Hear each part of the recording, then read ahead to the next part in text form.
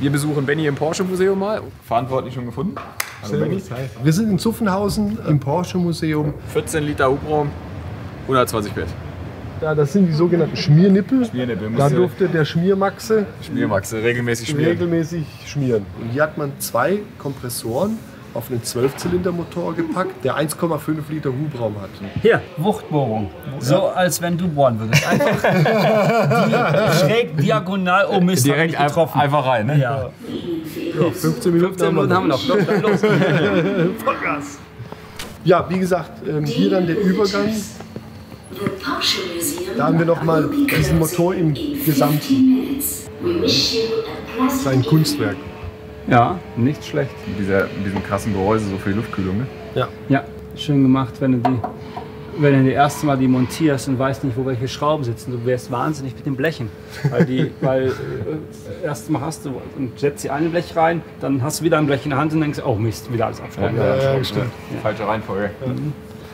Ah, und hier ist der, so wie ich das sehe, ist die erste Vario Cam Vario von dem 996 Turbo. Genau, das erste Mal, wo man eine Nockenwelle gebaut, also was ich kenne, wo man die Nockenwelle mit zwei verschiedenen Stellungen hatte. Das war schon relativ lange her. Und trotzdem hat es gut funktioniert. Gab es schon früher sogar, so vor dem 996, im 968 und dann Ja. im 993 mit dem 286 PS Motor.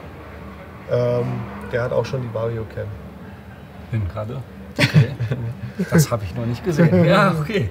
Ja, nicht schlecht. Äh, Neun, Baujahr 1994. Elektrisch-hydraulisches System zur Verstellung der Einlassnockenwelle führt zur besseren Laufqualität bei höheren Leistungen und günstigerem Kraftstoffverbrauch. 1991 eingeführt im Porsche 968. Auf dem Kopf gelesen, Freunde. Und ah, hier ist ein Kolben von Takt von Ja. dem. Okay, wow. Und das ist ziemlich cool. Äh, das ist ein Kolben, fangen Sie ja jetzt erst langsam an, ähm, dass die Ringträger, die Benziner auch Ringträgerkühlung haben, wo die Ölspritzdüse in den Kolben reinspritzt und sozusagen die Ringzone, ihr seht ja die beiden Kanäle, dort das Öl verteilt zur Kühlung.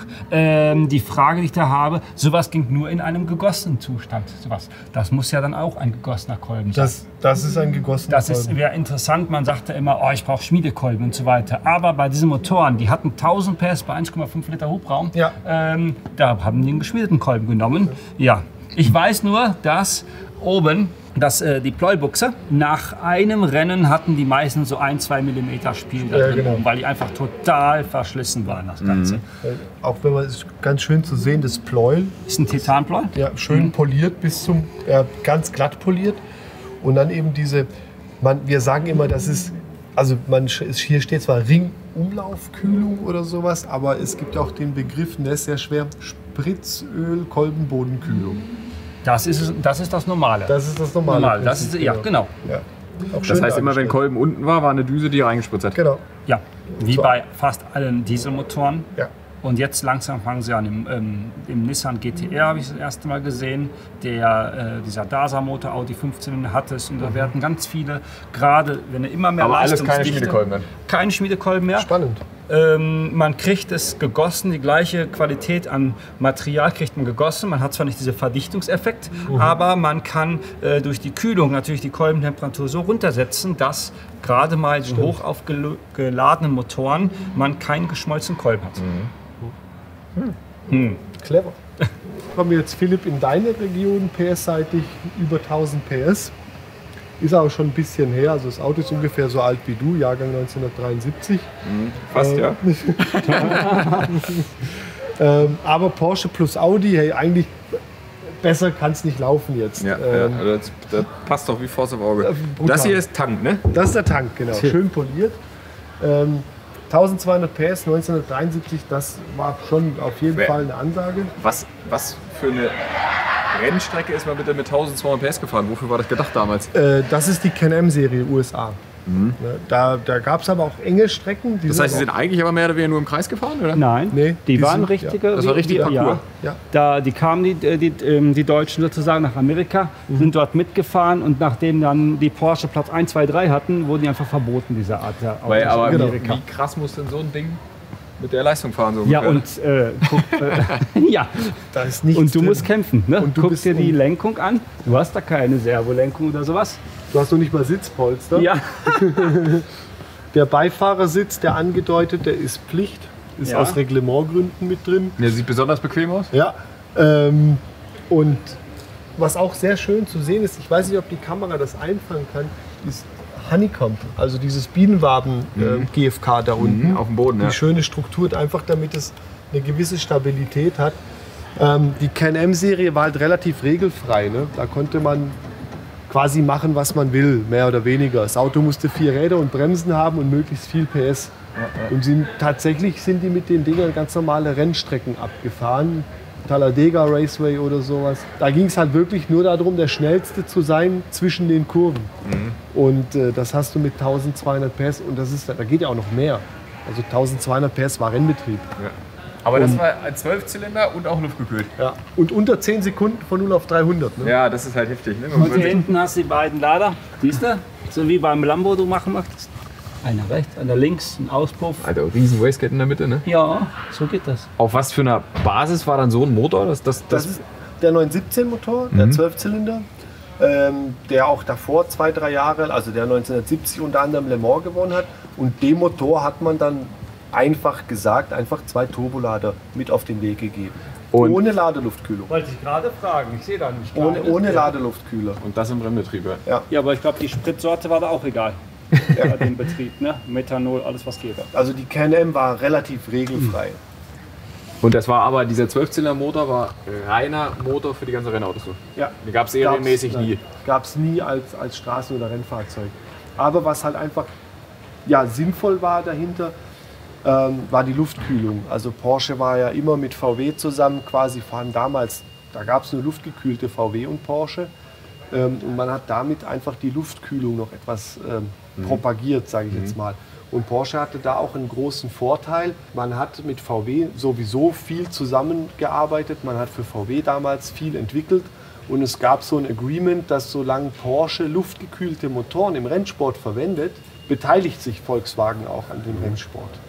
Und in den USA war das sinnvoll, weil Porsche und Audi wurden über eine Vertriebsgesellschaft verkauft. Und so war da auch quasi der, der Gesamtkonzern mit drin und das war dann eine angenehme Situation wirtschaftlich. Ist das das stärkste Auto hier im, im Museum? Ähm, ja. Wie ge gerne man so ein Auto jetzt mal hören würde. Ne? Ja. Aber wenn ich umdrehst und mal die Verbreitung von Moby Dick Hinten, ja, anguckst, hinten, das ist schon. Dezent. Die ersten Erfahrungen im Motorsport mit dem Turbolader hat man natürlich mit dem 917 gemacht und hat dann die Erfahrungen ähm, ja auch auf den europäischen Langstreckensport übertragen. Und hier 74, das Auto nennen wir Dolly, quasi den ersten turbo aufgeladenen 911 Rennwagen auf die Rennstrecke gebracht. Cooles Detail am Rande, das ist der erste turbogeladene Rennwagen, der in Le Mans überhaupt ins Ziel gefahren ist. War damals nicht die Regel. Ja, vorhin guck mal, auch Sechszylinder, 2,1 Liter nur, ne? ja, 500 hier, PS. da ist der Ladeluftkühler, wahrscheinlich ist er das. Wenn hier der Ölkühler ist, sieht aus wie der Ladeluftkühler, wo einfach. War das so? Ein, Der hat mittlerweile einen. Ja. Ja. Auch sehr mechanikerfreundlich. ja. Wastegate kommt auf jeden Fall gut dran. Ja, und diese Erfahrungen im, im Rennsport hat man natürlich immer, immer weiter ausgebaut und die Turbotechnologie im 911 gipfelt eigentlich in dem Moby Dick, der hier hinter uns steht, der auch ja, fast an der 850 PS-Grenze kratzt. Das Auto läuft übrigens auch. Mit sowas bei euch mal gefahren? Ja, ja, klar. klar. Also regelmäßig. Zum Brötchen holen. Nicht ganz zum Brötchen holen. Aber da sind da so historische Rennevents. Genau. Zum Beispiel Historik Guck mal, der ist mich angemeldet, weil, so. wenn du reinguckst, der hat Blinker. Da hinten drin sind Blinker. Wenn ich hier reingreife, bis hierhin, dann habe ich einen Blinker in der Hand. Hier hinten. Sache, ja. Ne? Das heißt, wenn du abbiegst, sieht das jeder von der Seite. Dass du Das ist auch so reglementbedingt, Reglementbedingt. dass da die Originalkarosse noch komplett. Genau. Das ist, das ist ähm, reglementbedingt, hat er deswegen unter anderem den Kofferraum, hat der Blinker, hat der Scheinwerfer, sonst könnte man das alles weglassen. Und ist auch spannend, das Auto, man spart ja bei einem Rennwagen immer maximal Gewicht. Trotzdem hat dieses Auto zwei Scheiben. Das ist ein kleiner Trick gewesen, um das Reglement zu umgehen. Das Reglement besagt nämlich, man darf, die, man darf das Auto um x Prozent breiter machen und das ist hier komplett ausgereizt und länger. Man darf aber die Originalsilhouette nicht verändern oder man muss sie beibehalten. Und man hat sie beibehalten, indem man die Originalscheibe, die Originalsilhouette hier drunter laufen lassen hat. Aber aus aerodynamischen Gründen hat man noch eine drüber gebaut, noch eine Scheibe, um das einfach zu optimieren. Diese Reglementspielchen konnte Porsche auch immer schon ziehen. Hier, und guck dir da die Ladeluftrohre an, innen drin. Das sind keine dicken ähm, 3 Zoll Rohre. Hat zwar rechts und links jeweils ein, aber die Ladeluftkühler sind an der Seite. Da sozusagen, wo sie dann nachher bei den ganzen Porsche Turbos auch Genau. geblieben sind. Aber krass lange Wege so, oder nicht? Ja. Der Der, überlegt er einmal so durchs Auto. Ja, das stimmt. aber die Durchmesser sind eben nicht so groß, deswegen ist das gar nicht so viel Volumen. Wann wurde der gebaut? Wann wurde der 993 gebaut? Wurde der, 993 kam 20 Jahre später. und der hat den Ladeluftkühler wieder hier gehabt, da hinten. Genau. Drin, ne? ja, okay. Ist dann der Basismotor der gleiche wie der? Ungefähr. Ungefähr. Und dann krass trotzdem 3,2 Liter und da 2,1 Liter, ne? Ja, also die, die, Oder war das auch reglementbedingt oder so? Das war reglementbedingt, aber im Endeffekt hast du ja durch die Zylinderköpfe und so weiter, die ja einzeln sind, Ja, hast alle du, Möglichkeiten der hast Welt. du alle Möglichkeiten der Welt. Was hier auch spannend ist, man mag es kaum glauben, aber So. also quasi von dem Vorderwagen, von vor der A-Säule bis zur B-Säule ist das ein normaler Blech 911. Mhm. Ne, können wir ruhig mal aufmachen. Müssen dürfen nur nicht zu weit wegen dem Schild. Wenn ihr mal reinguckt, der, aber der ganze Unterboden ist ausgesägt, ausgeschnitten, ähm, durch Aluminiumrohr versteift wieder und dann wirklich nur mit GFK umhüllt. Man darf auch beim Aussteigen nicht überall drauf treten. Sonst hat man Asphalt. Aber der, der Alu-Käfig hier drin ist auch mehr für die Optik als für. ist ja noch Blech drum. Das Porsche Museum Wir schließt. schließen, jetzt heißt, wir müssen schnell darüber. Wir dürfen bestimmt noch ein paar Minuten. Licht ausgeht.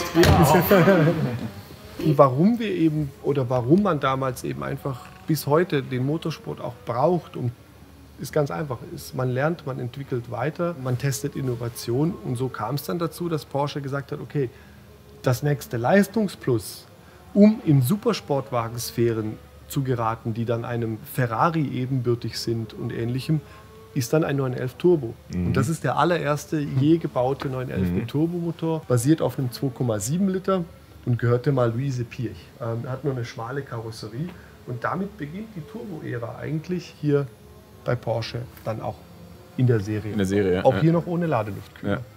Ja. Und da drüben sehen wir mal den Powermotor mit 1200 PS im Detail. Wie gesagt, sehen wir hier den 917 Motor vom 91730. Zwei Turbolader, keine La- Ladeluftkühlung. Das ist so die Königsdisziplin. Das ist, würde ich schon sagen, die Königsdisziplin, weil über 1200 PS im Fahrbetrieb äh, erreicht so schnell kein anderer Motor hier. Das ist die Kurbelwelle von drüben in Stahl. Genau. Siehst du dort. Die gleichen Bohrungen. Ölpumpe da unten drin. Ja, das Prinzip ist alles so noch relativ lange so geblieben. Das Ganze. Was ist das hier, was ist das hier vorne für ein Riesending denn? Da geht dann, das Ähm, ist hier rüber die Ansaugung so von der Pumpe, glaube ich, ne? Also ich würde mal tippen, hier geht bestimmt der Öltank ran, oder nicht? Ja, sieht so aus, auch von der, vom Durchmesser her. Ja. Die, Be die Befüllung der, dieser war immer von vorne. Die wurde zentral von vorne die versorgt und dann ging die so, die Ölversorgung durch die. Ähm, dadurch Nee, aber dieses- normalerweise. Dieses, dieses angesetzte Teil, das sieht halt aus wie so ein. Du musst ja irgendwie den Öldruck in die Kurbelwelle reinbekommen.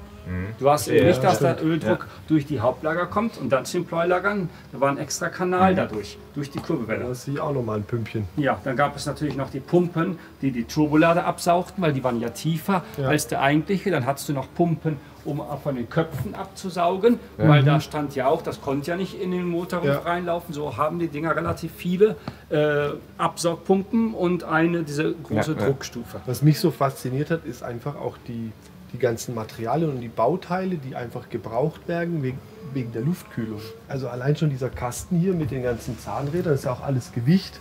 Dann hast du hier ähm, diese zusätzlichen Antriebe und das Ganze und die ganzen Zahnräder. Das war schon äh, konstruktiv echt.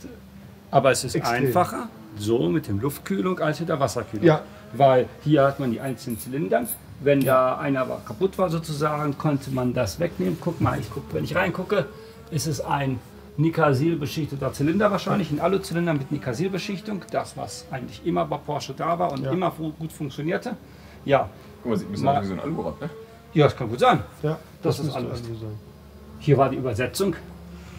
um dann hier rauf auf die, ähm, Köp auf die Nockenwellen zu kommen. Ja. Ja, und die Köpfe, so sehen sie aus wie ganz normale Sechszylinderköpfe, ähm, nur einfach ein bisschen anders Einfach ein bearbeitet. Doppelzündung, das ist keine, keine Dieselpumpe hier, keine Dieselreinpumpe, sondern die äh, große Spritpumpe, ne? Spritpumpe. Ja. Da ist bestimmt auch noch schwer, wenn man sowas instand setzt, hier für Firmen oder Leute zu finden, die das noch schaffen Das ist einzustellen. schwer. Ja. Und das Ganze noch abzustimmen und so, ne? Ja, Das ist vernünftig weil da muss ja innen die Kolben und oh. Also, also unser 917, unser 91730 läuft. Wir haben auch noch einen 91710, die haben dann auch diese Turbomotoren. Und da hast du wirklich ganz, wenn, wenn die Temperatur außen einstellig ist, also unter 10 Ja. Grad, hast du echt schon Schwierigkeiten, das Auto einfach von sich aus zu starten. Sagen wir auch das männliches ist, Wastegate hier. Das ist ein Wastegate, ja. ja, für einen Dauerbetrieb geeignet. Aber eben einfach gemacht. Guck mal, wie wenig Krümmer und Auspufftung raus. Aber Ne? mit, mit, irgendwie mit, mit Verschalung noch drum oder so. Äh, die Verschalung kann gut sein, dass das die ähm, hier innen drin wird, das Rohr liegen. Ja. Äh, und das ist einfach nur um die Kraft darüber zu Ja. machen. Da war immer überlegt, weil wenn du das hier nochmal abhängst und so weiter und die Wärmeausdehnung, dann risst das irgendwie an jeder Stelle. Und, Und- diese Schubunov-Dinger, die hatten gar keinen, An die hatten wahrscheinlich gar keinen Anschluss. Sie war einfach drückten nur auf. einfach nur auf. Ja, so eine X auf. Ja. Auch krasse Ansaugbrücke, ne? Also eigentlich total einfach gehalten, aber wahrscheinlich auch einfach gar nicht mehr Platz nach oben gehabt, ne? Genau, auch ein Platzthema. Und das Ganze ist halt natürlich immer unter dem Aspekt Wartungsfreundlichkeit. Schnelles Warten oder Austauschen muss möglich sein. Und guck dir diese kleinen Rohre an. Ne? Diese kleinen Krümmerrohre, äh, hier noch gesteckt. Das heißt, die waren wahrscheinlich undicht, wenn er kalt war. Ja. Und wenn er warm war, dehnte sich das aus Genau. und wurde dann langsam dicht. Aber massive Antriebswellen hinten auf jeden Fall schon. Die sind auf jeden Fall massiv. Da bohrt man, bohrt man auch nichts holen zu sich. Nee, nee, nee. Und auch eine witzige Drosselklappe, ne? Als wenn es so eine, so, eine, so, eine, wie so eine Umluftklappe noch mit dran ist oder so. Ne? Da gebe ich dir recht. Ja, Und die ist ja verbunden, also zur, das, sind jetzt, das andere Saugkreuz da drüber. Ja. Ja und dann hat er ja wahrscheinlich auf Einzeldrosselklappe, du hast recht. Ja. Immer wenn du die Drosselklappen zumachst, hat er die aufgemacht, dass der Druck nicht so dermaßen nach vor schoss Ja. und hat er nochmal einen Kreislauf gemacht. Also nochmal zusätzlich zu den Schubumluftventilen. Das war ja nur so Ablassventile. Ja, ja. Cool. ja, ich würde sagen, so viel zum Thema Motorentechnik bei Porsche. Das reicht für heute auf jeden Fall erstmal. Gut, Die, die Köpfe rauchen. Wir werden gleich rausgefegt hier. Dann danke, dass ihr Zeit genommen hast. nee, danke, dass ihr da wart. Wir sind bestimmt nicht zum letzten Mal hier. Hoffentlich. So ein paar interessante Themen finden wir bestimmt noch. Auf jeden Fall, ich habe da schon Ideen. Sehr gut. Ich würde sagen, bis zum nächsten Mal. Danke euch. Kopf. So, wir fahren, Philipp, ne? Tschö. Oh, das ging aber hier flott. Elegant. Man muss nur mit den Beinen gleich reinrutschen. Ne? Wenn Ja, du einmal so genau. mit dem Knie da so drin steckst, ist Feierabend. Guck mal, die Schuhe ausgezogen. So, jetzt aber tschüss. Bis zum nächsten Mal. Nächstes Mal fahren wir Runde.